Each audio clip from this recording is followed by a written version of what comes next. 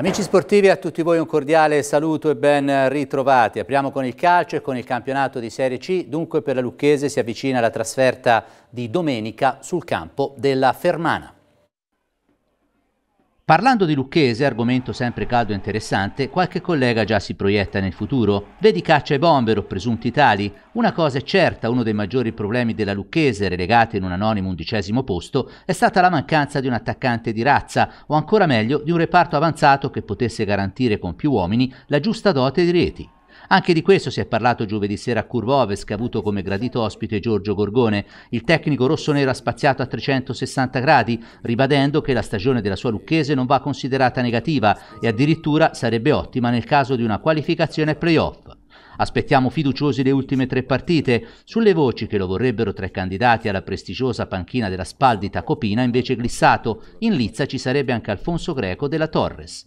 Le ultime tre chiameranno Tiritiello in diffida come Cangianiello e compagni, domenica la trasferta di Fermo contro una Fermana invischiata fino al collo in zona play-out, anzi in questo momento i gialloblu marchigiani, vista la forbice di nove punti, sarebbero in Serie D.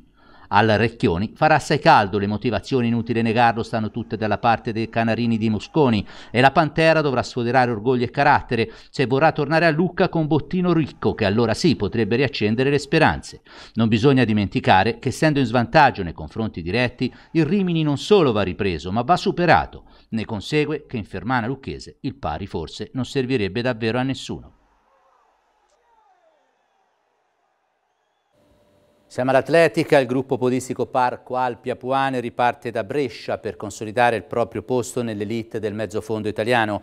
Si disputerà sabato sera, poco dopo le 20, la prova in pista sui 10.000 metri dei campionati di società. La squadra bianco-verde si presenterà con il forte keniano Wambua, con l'azzurro Nicolò Bedini e ancora con Lorenzo Brunier, ma si attendono buoni risultati anche dai vari Mattia Galliano, Marco Zanzottera e una buona gara per tre certezze quali René Cuneaz, Francesco Nardone e Carlo Pogliani.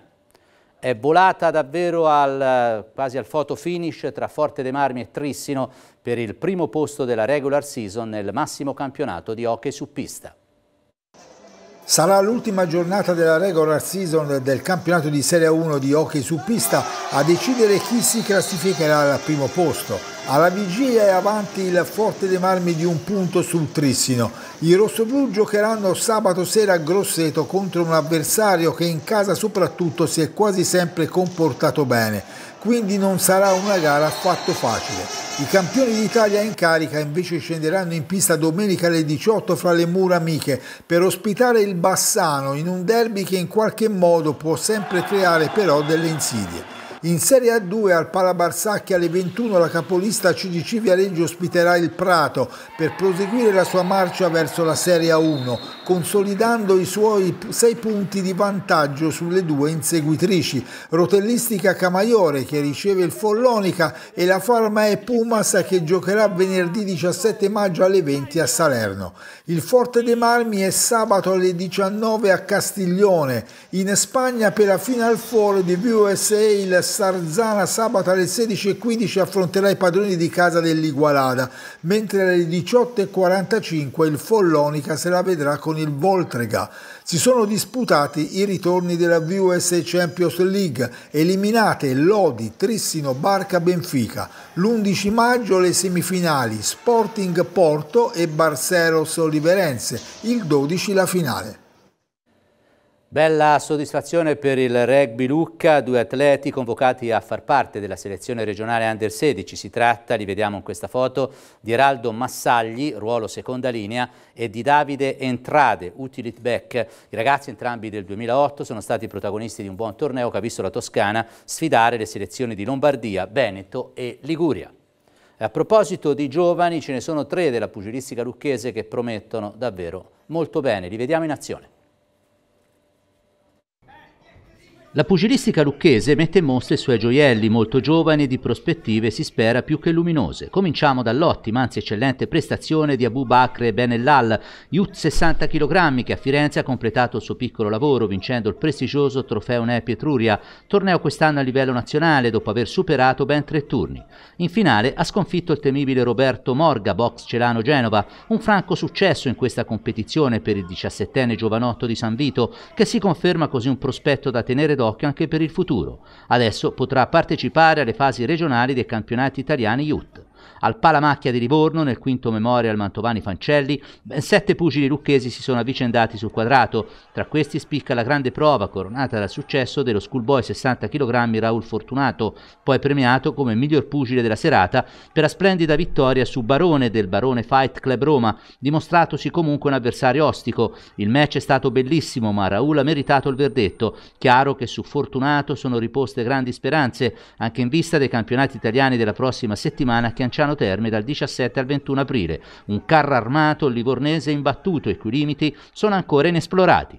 A Pisa, accompagnati dal maestro benemerito Ivo Fancelli, quattro atleti lucchesi hanno preso parte al Memoria del Papa. Di ottimo auspicio il debutto della Schoolgirl 48 kg Matilde Bernini, che ha vinto prima del limite, match fermato alla prima ripresa contro Anna Genoa dell'Irpinia Box, che aveva subito già due conteggi. Le immagini sono eloquenti di quanto questa ragazzina di grande personalità si pone sulla scia della bravissima Miria Rossetti Busa. Chiaro che su Matilde si punta anche per la prossima rassegna tricolore, dove nonostante la poca esperienza esperienza, si propone come assoluta protagonista.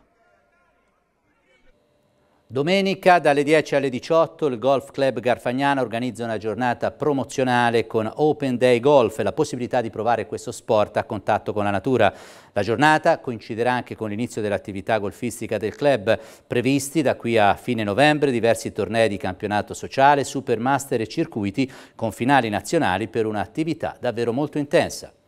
Chiudiamo con la ginnastica artistica e la Motto che ottiene altre grandi soddisfazioni. È stato un weekend memorabile per la società ginnastica Raffaella Motto di Viareggio. Oltre al secondo posto nella Serie 1 a squadre di ginnastica ritmica femminile, la società viareggina si è aggiudicata il campionato di Serie B di artistica maschile, conquistando la promozione in A2. Un risultato senza precedenti per i ragazzi guidati da Gabriele Leonardo Mattei, secondi nell'ultima prova della regular season disputata a Ravenna, dopo i successi nelle precedenti due a Montichiari e Ancona. La Motto ha ottenuto il titolo italiano di categoria con 296.550 punti davanti a Civitavecchia e Anzio. La gara si è rivelata complicata, estremamente intensa vista la crescita elevata delle altre squadre partecipanti a questa competizione. La squadra della sezione artistica maschile è composta da atleti giovanissimi, Marco Castellano del 2009, Andrea Cervelli 2009, 2007, Elia De Angeli 2007, Nicolò Martin del 2008, in prestito dalla società Corpo Libero Ginnastica Team di Padova, Alessandro Salvadorini 2005, Alessandro Salvati 2009. Ciò non significa che non potremo essere competitivo anche in A2, hanno detto i tecnici che mandano un ringraziamento anche alla scuola ITIS Galileo Artiglio e la provincia di Lucca per aver dato loro la di utilizzare la palestra dell'istituto, senza dubbio fondamentale per il raggiungimento di questa promozione che dà sportivamente lustro alla Motto, a Viareggio e a tutta la Toscana. È tutto per quanto riguarda la pagina sportiva del TG Noi, mi fermo qui subito dopo gli altri spazi dell'informazione su Noi TV.